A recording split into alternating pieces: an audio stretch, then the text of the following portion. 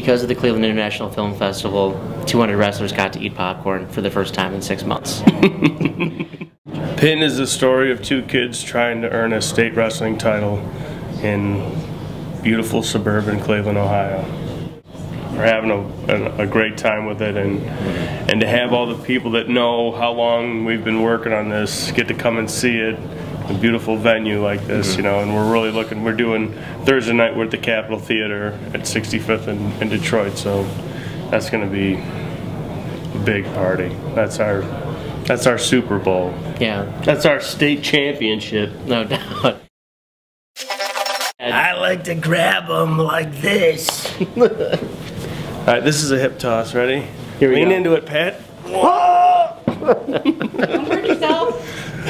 Just got two inches taller.